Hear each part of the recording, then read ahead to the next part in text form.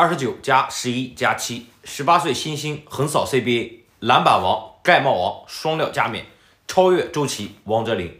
大家好，欢迎收看本期视频。北京时间十二月十七日，CBA 常规赛的第二阶段比赛正在激烈的进行中。随着赛程的深入，球队之间的竞争变得越来越激烈，打出了更高水平的比赛。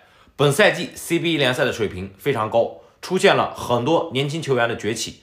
这对于 CBA 联赛的发展和中国篮球的未来都有着积极的意义，因此我们都高度关注本赛季年轻球员的表现。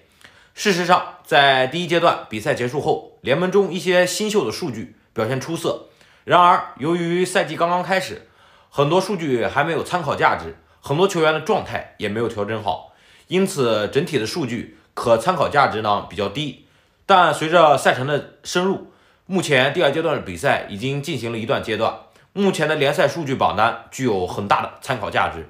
许多明星球员陆续回归并恢复了状态，在球队共同努力的情况下，领先的球员的数据将凸显出其实力。到目前为止，常规赛已经进行了十一轮、十七轮，一些实力突出的球员在数据榜单上遥遥领先。尽管通常被外援占据的得分、篮板、助攻、抢断和盖帽等五项数据的榜首。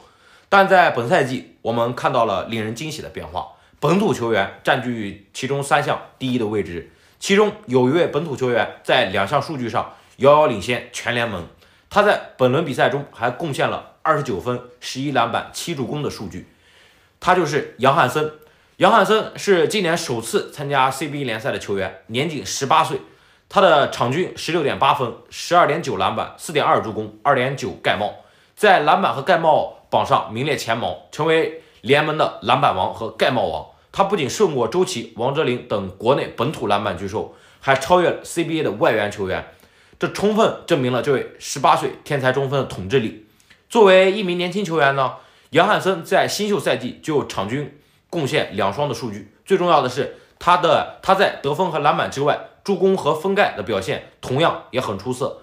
这样全面的大中锋确实具备着无限的潜力。并吸引着 NBA 球探的高度关注，相信在不久的将来，杨汉森会登上 NBA 的舞台，有机会成为中国篮球的救世主，引领中国篮球重回巅峰。这无疑是每一位中国篮球人期待的。对此呢，大家是怎么看的？欢迎在评论区里多多发表你的看法。